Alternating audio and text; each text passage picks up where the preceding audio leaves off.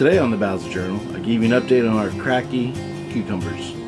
But first, we gotta take care of the animals. So come on with us as we show you the progress of our cucumbers.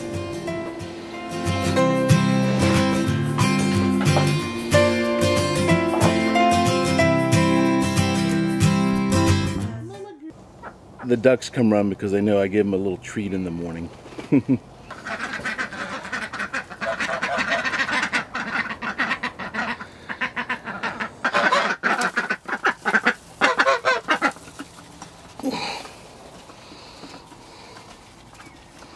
While I take care of the ducks in the aquaponics, Barbie finishes off milking the goats. And Nico alerts us that there's somebody walking on the road.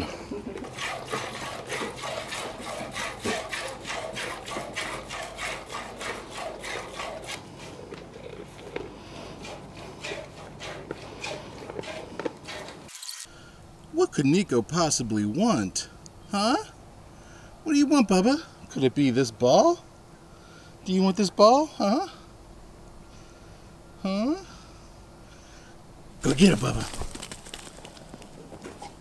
The problem with Nico playing, playing ball is he doesn't like to bring it back. He's stingy. So, as you remember, we were doing our Kratky experiment. Our one in the Kratky thing is actually, the plant's five feet tall. And we have a cucumber on here that's 11 inches. And as you can tell, the green, the leaves are nice and green.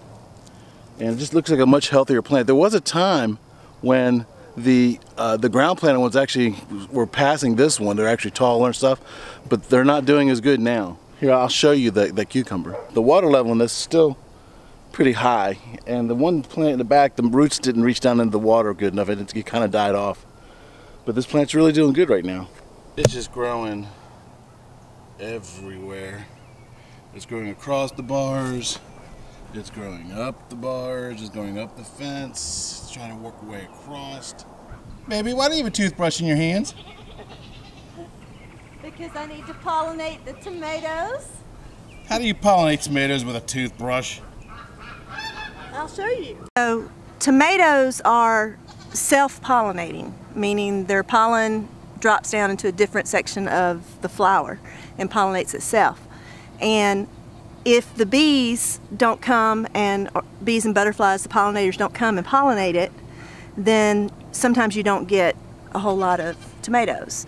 But we watched MIGardener and this electric toothbrush is about the same um, vibration that a pollinator would give when they pollinate. So you just take the electric toothbrush turned on and you sit it right on top of it. You can see it's vibrating it.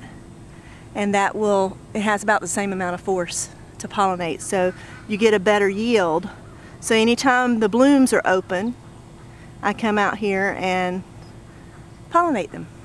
And we've gotten a little bit better yield so far. And then you go brush your teeth with it, right? No, this is the garden toothbrush. this one is the one that's not going down into well. And the plants, uh, the roots in this one really just, they didn't make it down the water and it's dying off. Another thing that we noticed, the difference between these two is, this one didn't get anywhere near infested by bugs and worms like the other ones down the ground did. This one's pretty much bug free.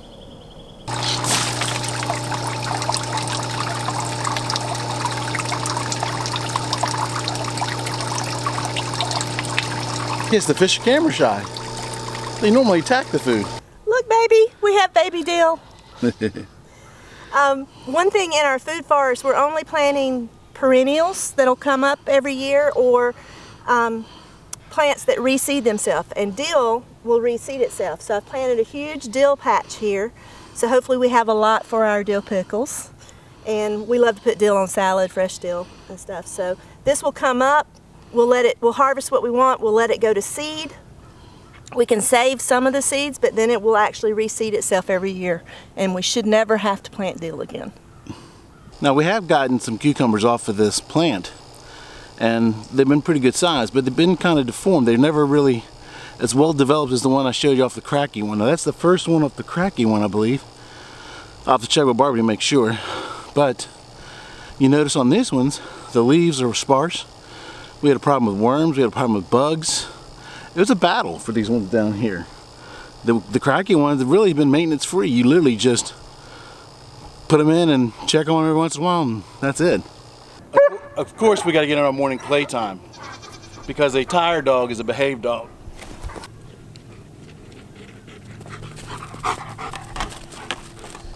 So until next time, live your own story.